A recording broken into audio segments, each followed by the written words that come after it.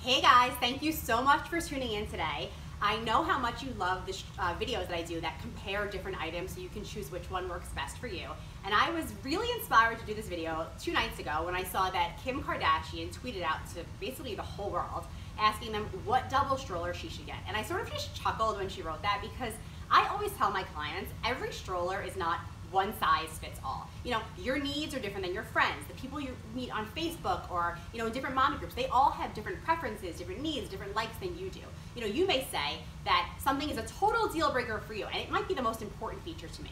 So when I do these videos, I try to give you the most, you know, details I can give you that are, that are facts. And sometimes I input a little bit of my opinion here and there, but I really want you to be able to choose what works for you and not be so swayed by my opinion, because my life might be very different than yours. So this video was inspired by Kim Kardashian, but I think you'll be able to really uh, use a lot of the information that's in it.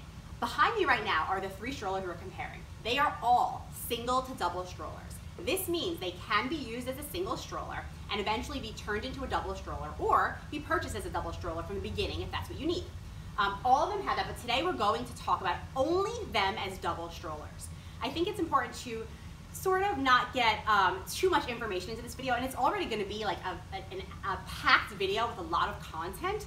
Um, so I don't want to you know cloud it with too much single double single double. So we're going to talk about it as singles today. Um, and please note that all the strollers behind me are the 2017 models. So like in five years from now if you're watching this video please do not send me that hate mail. That I know you guys love sending me where you're like you're wrong the new stroller. Well yeah I'm talking about a stroller in 2017 so 2017 strollers and here we go. This is the Silver Cross Wave Stroller. This is the UPPAbaby Vista Stroller. And this is the Baby Jogger City Select Lux Stroller.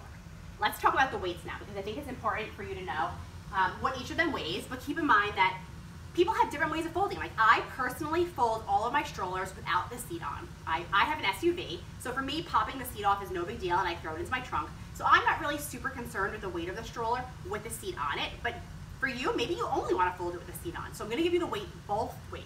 Without the seat on, just frame and wheels alone, the Silver Cross Wave stroller is 24.5 pounds. When you add in one seat, the stroller is 34.3 pounds. Um, keep in mind that these weights that I'm giving you are the weights we've been given directly from the manufacturers of these products sometimes there's a little discrepancy for people who, you know, bust out their own scale and start weighing them. I can't be held accountable for that. I don't know anything about that. I just know the weights that I have been told. So this stroller is 34.3 pounds with one seat on. I am not giving you the weight of it with um, two seats because you're not able to fold any of them with two seats. So it's irrelevant what it weighs with two seats because you're never going to be lifting it up and carrying it around. The UPPAbaby Vista stroller is 19.3 pounds just as a frame. So if you're lifting it by itself, you got you got to be able to lift 19.3 pounds into your trunk. As a single stroller, it is 26.6 pounds. So you can see this stroller is a little bit lighter than this stroller was. The City Select Lux stroller is 24.2 pounds with um, no seats on at all and 30.4 pounds with one seat attached. So there's a pretty big weight difference between these strollers, but again, um, if you are a pretty healthy person, I don't find any of them a problem to you know lift up and get into the trunk of your vehicle. So now that we've got that, as you can see, I have them all set up the same way. The strollers are all with the seats facing the parent, and you can see right off the bat that the handlebar on the Silver Cross goes the lowest. What that really means is that if a shorter person wants to push this stroller, this would be the, probably the best stroller for them because the handlebar does actually go the lowest. Um, the Vista is the, you know, the, the second highest, and the City Select is actually quite high for the lowest position. Now when I lift them up, same, same thing. The order is going to be the same. Actually, no, it's not. The Silver Cross is going to get higher than the Vista. So the Silver Cross is pretty good for a, a really tall person, but if you are like super tall, like, you know, like professional basketball player tall, City Select is probably the way to go because that handlebar gets extremely tall. And in the middle, still really nice height, is the UPPAbaby Vista. You're also going to notice that they all have different types of handlebars. The Silver Cross has this great faux leather, um, kind of sophisticated luxury look to the entire stroller, and that also translates to the handlebar where you see um, this, you know, faux leather wrapped. The Vista is foam, so it's also a really comfortable grip. um, easy to grab, easy to clean as well. And the baby jogger is also a foam, but a, a, a different kind, it's like a rubber. Um, and it's also pretty comfortable. This one has like a more of a sporty look. I always, like if I compare these to cars, so we do that a lot here, I feel like this would be, you know, your SUV, your Ford Explorer. This would be like an upgrade from that as far as look goes. I would more compare this to maybe like a Lexus SUV. And then the Silver Cross is your Range Rover. So if, if look and sophistication and um, luxury is really important to you, I try to compare them to cars so you can get an idea, you know, where they fit into everything. Now let's talk about the configurations. And Jessica's actually gonna help me show you how that goes. Um, I want you to see first how long each one is. This is probably your shortest of the three. When the two seats are on facing you, it has a shorter profile. Now, of course, the shorter the profile, you know, the shorter the, the distance, um, it does change some of the things that it maybe can do or some of the space the kids get, which we'll see as we go further along. Your Vista is pretty close to your Silver Cross. Um, maybe a teeny smidge lower in the back, but not very far. It's pretty, it's pretty consistently close. You will see though that your Vista um, seat, your, your higher seat sits a little bit higher than your Silver Cross higher seat. And then you have your City Select Lux, which I think there's a big difference there um, with how long it is. So again, if, if, if, the length is not is something that's really important to you and you want a shorter stroller, you know, to take turns, um, then this wouldn't be the stroller for you. But don't discount it right away because it does do other things that maybe the others don't do. All right, so I want you also to see in this position, sorry, I'm gonna go back to it, um, how much space your kids have when sitting this way. Check out the distance when both children are facing the parent between the two seats. For me, now this is where I insert my little bit of opinion, for me, my kids were never close enough in age that I would ever have my older child facing me and my younger child facing me. So this position was kind of like never gonna be used by someone like me. But again, different families, different ages, just different needs. This might be your go-to position in your family. So lots of room with the City Select. UPPAbaby, not too shabby either. You still have a, a great deal of space between both seats. Um, both children still have very similar, you know, legroom as they did on the City Select. And um, I didn't mention it before, but I do want to mention that all three strollers have adjustable footrests on the upper seat. On the lower seat, all of them have adjustable footrests except for the rumble seat by UPPAbaby. So all three of them will give you a footrest where you can do this in the upper position, and then all of them give you that in the lower except for UPPAbaby. So keep that in mind. And last, as far as the room goes, is Silver Cross. Right now I have this up. So maybe it's a little bit less room, but still a comfortable amount of room for a child to be able to sit there. I would say that with all three of these strollers, with the parents, with both children facing the parents, your children are never gonna be in a lack of room in any of them. It's pretty comfortable. Um, for the parent though in this position, you'll see that in the Silver Cross, your child in the lower position does use a little bit of the basket for their feet. For the Vista, the child in the lower position uses the back portion of the rumble seat. Um, this portion has a bar across it in the center of the basket, and that's still available to you, the, the forward portion of it. So you have a little more space when ch both children are facing you in the basket. And the City Select is kind of the same thing. You have the child in the rear is going to use up a lot of the space. The child in the front is using up, um, I mean, the child the is using up space for their feet, but the front portion of the basket does have more room. It's a little harder to access because there is this bar right across from it, so it would probably be either a side access or you'd access it through the center while the children are facing this way. I know I touched briefly on the differences in the second seat footrest. I want to just talk a little bit about the weights of the seats, the weight capacities of the seats. Um, as you can see, and the sizes. As you can see, Silver Cross gives you a pretty generous uh, seat for your upper child, and the second seat which I probably should have showed you before. Your second seat is pretty much, I believe, the same size as your upper seat. You can't really get in there to see it, uh, but it does have a different weight capacity. The upper seat can hold up to 55 pounds, which is like, I think like a second grader, um, and the lower seat can hold up to 45 pounds. So there is a little weight differentiation um, with their capacity, but they're very close. The UPPAbaby Vista, the upper seat can hold 50 pounds, and your rumble seat, which is your lower seat, can hold 35 pounds. They are not the same seat. So these are not the same exact seat either. You still have to put like, the upper goes in the upper and the lower goes in the lower, uh, but they're very close in size to each other. These are a little different in size. The up full size seat, which holds the 50 pounds, is a full size seat. And the rumble seat is a little bit smaller, and like I said previously, does not have an adjustable footrest and holds 35 pounds. So, like I said, there's, there's positives and negatives to all of them. For me, the negative to this is that I would always want my older child in the lower seat, and the lower seat has lesser of a weight capacity. So, and the same thing for this one, but 35 pounds is 10 pounds less than 45 pounds. So it's just something to think about if that's important to you or not, and where you want your older child to be, and you know how much they weigh. The uh, Baby Jogger City Select is really cool because it has the ability to uh, use the seats in either position, meaning that they're the same seat. These seats are the exact same seats, they are the exact same size, pretty generous, and they each hold 45 pounds. So this gives you the same for both, but not as high of a weight capacity as the 55 that the Silver Cross is giving you. Now, we want to show you the other, some of the other configurations. I can't show you all of them today, but I'm going to show you the other seat configurations, and like I said, Jessica's going to help me out. The next thing we're going to show you is the lower seat facing outward.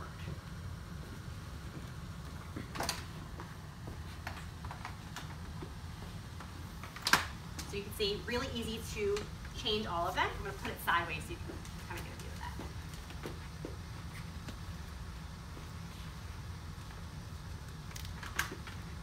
For me and my family, this would probably be the position that I would use the most because I know that my older child would want to see out, be closer to the ground, and my younger baby I'd want closer to me. So the positive is that they can all do it. The negative is that some of them have more space than others and you know more ability to recline. The Silver Cross uh, it's kind of, I wouldn't say tight, you know, there is room, I can still fit my hand back there. And what's cool about it is that this lower seat can recline, so your older child can sleep, and this one can recline too. You don't have a ton of space between the two, but it absolutely can be done, which is a good thing. The negative is that if your baby wants to sleep, and your older child wants to hang out, they really can't do much here. You see, you're not getting much of a recline there. A little bit though, but not like a full recline. On the Vista, same thing, you have a generous amount of space between the two seats.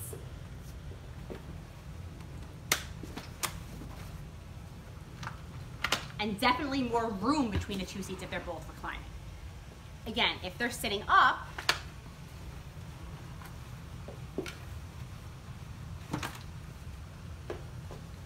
this child does get a full recline potentially.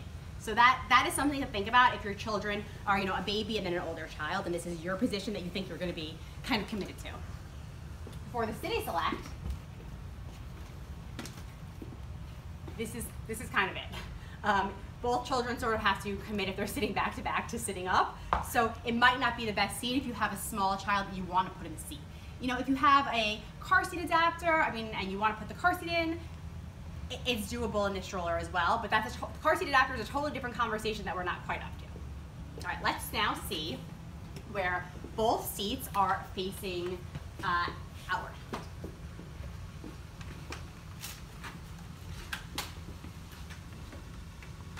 This is probably going to be another popular position for a lot of families because as your children get bigger, they're going to want to see things. I remember at about uh, one year, I was sad, but my son decided he was kind of done with facing me. So forward facing he went.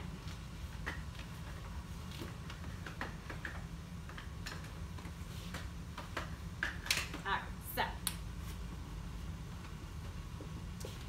the Silver Cross, I would say probably gives you the least amount of room of the three between the feet of the upper child and the backrest of the lower child. The Vista gives you a little more space.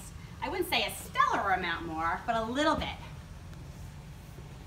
And I think that the City Select gives you, the City Select Lux gives you the most space of the three of them. You know, it's kind of, like I said, it's preference, it's what works for you. What this couldn't do, it does better here. So you gotta kind of decide which position makes the most sense for your family. Now, let's recline them.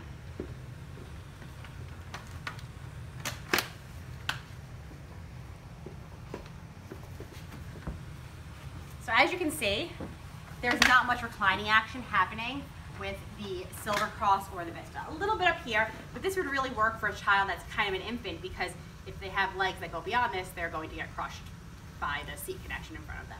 So if you want to recline them, on this one, the City Select Lux is your big winner. Now let's talk about um, back to back. I if I remember correctly,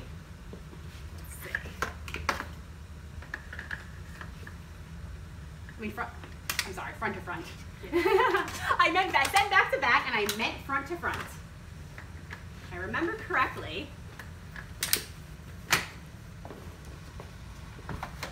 there is no front to front action happening with the Silver Cross. This is not a realistic or usable position at all because lower child is taking a foot to the face, which is probably not something we want. So I would say for facing each other, this stroller is out. The Vista, I mean, it's potentially possible, but again, it would only be really work if this child was so small that they didn't have much leg going because while they wouldn't exactly take it to the face, it would still be in their way and it's gross like dirty shoes and stuff in another kid's space, not into that. This is a great position in the stroller. So if you have two kids that are of age where they could socialize with one another, this stroller does allow you that. And if you're probably like, well, you know, why do they do different things? I don't understand why this does something that that doesn't do. Remember in the very beginning of this video how I showed you how this frame was the longest of them and this seat sat the lowest, uh, making the distance between the two seats the most, which makes your stroller the longest, but it gives you the most comfortable configurations as far as space between the seats when they're facing each other and, and in different areas. So uh, that's the plus to this stroller. This one does something that the others really don't do well at all. Now I want to show you some of the uh, pricing and accessories. So you can sort of see where we I, I compared before them to cars, and I, I don't know if those prices actually match up to more the look or more the price, but let me give it to you so you can decide. This stroller, which is the Silver Cross Wave, as a single stroller includes a lot of things. And excuse me if I'm looking over the side, I'm actually looking at the prices so I can get it right for you because like I said, I don't want those messages where you tell me I'm all wrong at the bottom. Um, this stroller is $1,299 as a single stroller. And it includes the seat, it includes the frame, it obviously includes the basket. It also includes a cup holder. You get the bumper bar.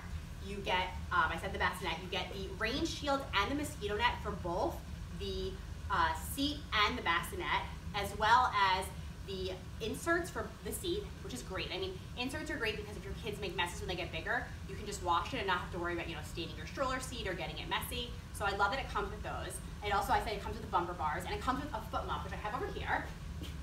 It's kind of like a boot that goes over the footrest just to keep them, you know, a little more warm and cozy in the winter months. So you're getting all that for $1,299. If you now want to turn it into a double stroller, the uh, bassinet for this is $399. So it is a little pricey if you want a, a, sorry, not a double stroller, a double stroller for twins. That I'm talking about twins where you need two bassinets. It's $399 for the bassinet and an additional 349 for the second seat. So for $12.99 and 349, you get this. If you want two bassinets because you have twins, you have to pay an additional $399. Um, kids of different ages, you don't need to pay that 399.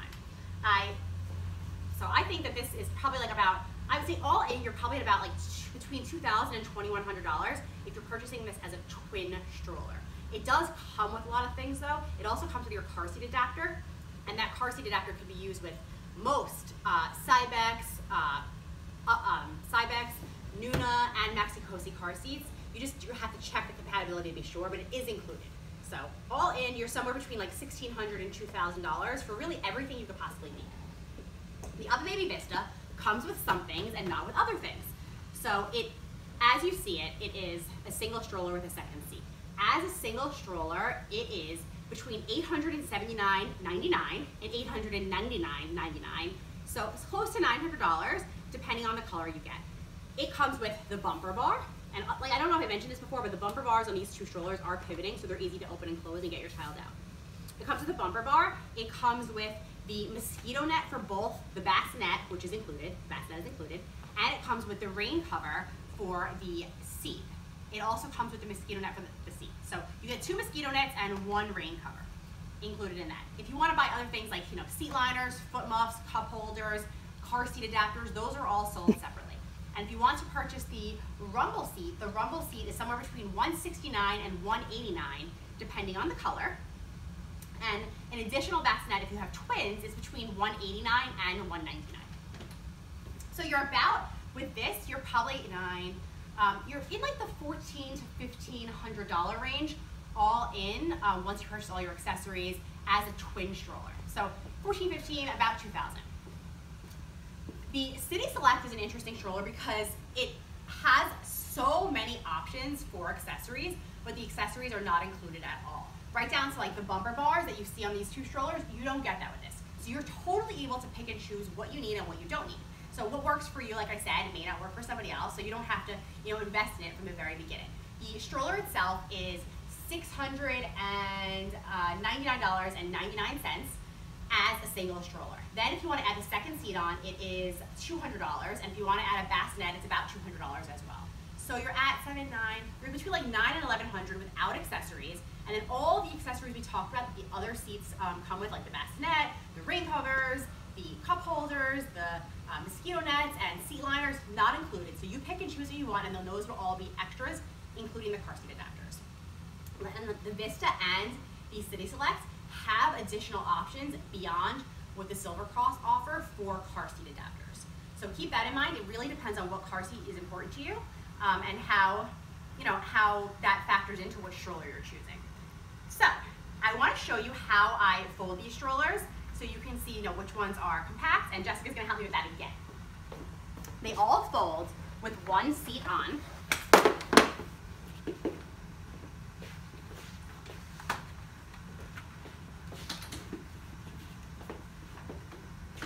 So Vista is this, these triggers on the side.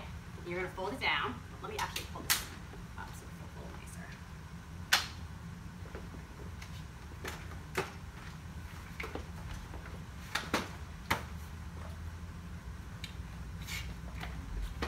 Oops. So the difference between other strollers is that the Vista does stand when folded. For many people, this is like a feature that they go crazy for. Like my customers will love the fact that it can stand when folded. For me personally, it was like something that I just did not care about at all because I would fold it and put it right in the trunk. I didn't need to stand, you know, have it stand beside my car. I personally don't let my strollers lock if they lock. I fold them just enough to close, but not where they'll actually. Again, personal preference, but this does lock and it does stand when folded if the front wheels are properly locked as well. So that's how this one folds. The City Select, you're gonna pull up in the center as opposed to the top.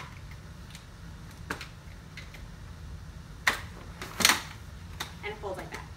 Kind of a similar fold to the Vista, um, but it won't stand when folded. And it does also lock on the side down here. And the Silver Cross, also kind of similar. The trigger's on the side up here, and. Again, like I said earlier, I prefer to take the seats off my strollers when I throw them in the car. I like them to get like a little bit smaller, easier to toss up in. But like I keep saying, this entire video is all about personal preference. So these are the three strollers. They all have great wheels, foam-filled tires. Um, they all have generous baskets. Vista's is definitely the biggest, but they're not too shabby. I want you to see the backs of them. Vista and Silver Cross have a foot brake, and the City Select Lux has a handbrake. It also has, like, part of the thing that the handbrake does is that you can push on it and slow your stroller down. I feel like this kind of sends a mixed message to people because this is not a jogging stroller, so I don't really know why you'd really need to slow down your stroller. But then I thought about it a little more, and I feel like if you're going down a hill, you know, in a really hilly area, and you're gaining speed as you're just walking and momentum, it probably is kind of nice to have that little handbrake there to, you know, get a hold of the stroller and make sure that it slows down a bit. So handbrake, foot brake, foot brake. And um, they all have, you know, different options as far as colors. They all have extendable, actually they don't all have extendable. This one and this one has an extension on the sun canopy.